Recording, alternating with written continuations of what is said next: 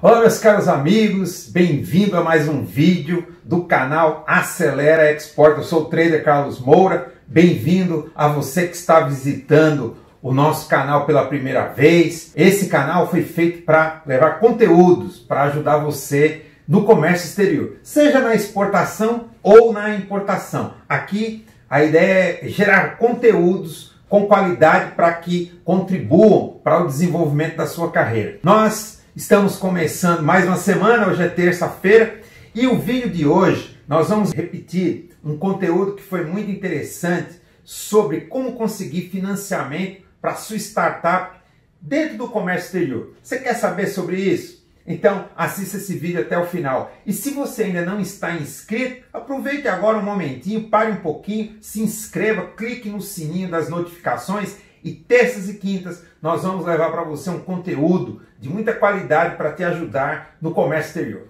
Assista o vídeo até o final. Então, pessoal, vamos lá, vamos começar o vídeo de hoje. Eu vou dar para você ó, cinco dicas para você obter investimento para a sua startup, tá?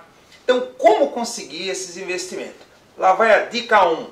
Primeira dica é capital próprio.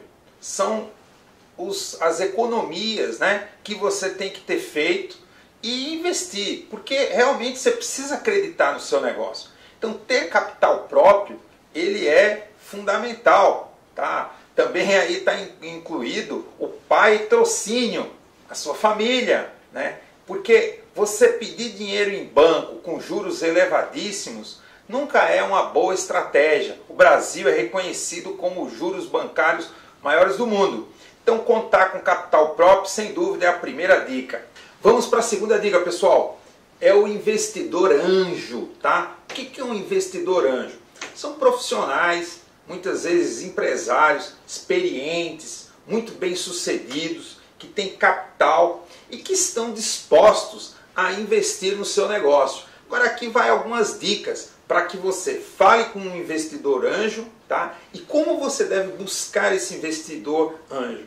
Primeiro, é, é importante que esse investidor anjo tenha afinidade com o seu ramo de negócio, porque ele pode ter muita experiência em investimentos, até mesmo em processo de startup, mas se ele tiver uma afinidade com o segmento que você atua, por exemplo, se você atua no segmento de logística ou, sei lá, no segmento de serviços, enfim, é importante que esse investidor ele tenha uma certa afinidade com o seu setor. Primeiro, existem é, empresas, investidores anjo, que têm isso, são segmentados. Você na internet pode buscar isso, tá? É fundamental que você busque uma afinidade com o tipo de negócio que você está fazendo. Segundo, é muito importante o pitch. O que é o pitch? É a apresentação que você tem que fazer do seu case, tá? Para convencer o investidor anjo a colocar dinheiro no seu negócio. Isso depende de você. Inclusive eu vou deixar aqui nos comentários desse vídeo, tá? Uma dica de um PDF para que você possa fazer um belo pitch, apresentação para apresentar o seu projeto para um investidor anjo, tá? Normalmente os investidores anjo, eles investem no início do seu negócio quando você precisa de mais investimento. Agora vamos para a terceira dica, é o capital semente. O que é um capital semente? Tá? São fundos que é, existem disponíveis no mercado, muitos deles, por exemplo, no sistema governamental, tá? o governo, através dos diversos órgãos, sejam esta, é, estaduais ou é, nacionais, né? eles têm fundos que podem apoiar a sua startup. Então, é um capital semente para apoiar o seu negócio no início. Muitos deles com fundos perdidos. Eu também aqui vou deixar links tá? para que você possa acessar alguns desses fundos tá? de capital semente para apoiar a sua startup. Muito bem, então vamos agora falar da quarta dica, que é o Venture Capital. O que é o Venture Capital? São empresas tá?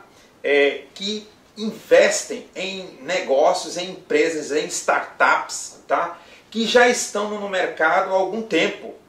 E essas empresas querem ver o seu faturamento. Então, se você está no início, essa Venture Capital não vai servir para você. Agora, se você já tem algum tempo, de repente você já tem um ano né, de atuação na sua startup, você pode, sem dúvida, entrar em contato com essas empresas, inclusive empresas internacionais, tá? o Canadá, Hong Kong, o próprio Brasil tem vários desses fundos de investimento e que podem investir no seu negócio. Mas você precisa já ter uma história e um faturamento rodando, porque você vai usar a empresa de Venture Capital para escalar o seu negócio, ok? Bom pessoal, e a quinta dica para você conseguir investimento, crowdfunding. Tá? O que, que é o crowdfunding?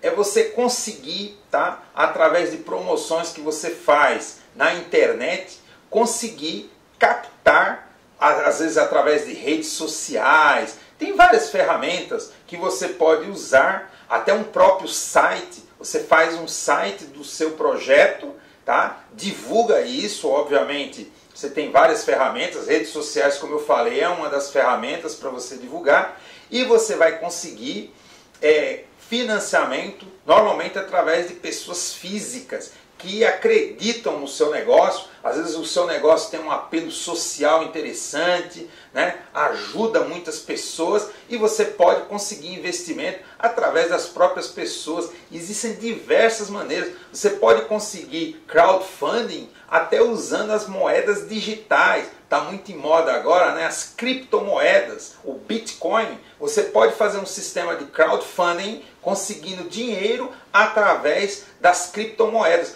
porque você pode conseguir o dinheiro em qualquer parte do mundo, tá? Porque no meio digital hoje não existe fronteiras e o Bitcoin hoje já é uma moeda é, aceita, né? Uma moeda digital aceita no Japão, nos Estados Unidos, muitos lugares.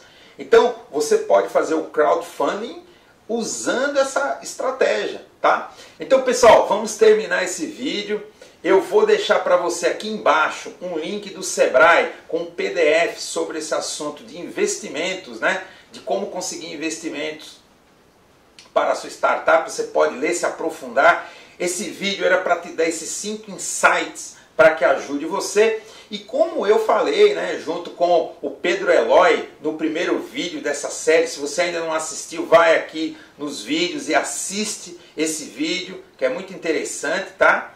E você, sem dúvida, precisa acreditar na sua ideia, conseguir os investimentos e ser uma startup de sucesso. Pense global. Como nós falamos lá, nós precisamos escalar o modelo de negócio. Você pode começar hoje no Brasil, mas você tem que pensar em termos de globalização. O mundo é o seu limite. Então, nos vemos no próximo vídeo. Esporte mais e melhor com a aceleradora de exportações. Tchau, tchau.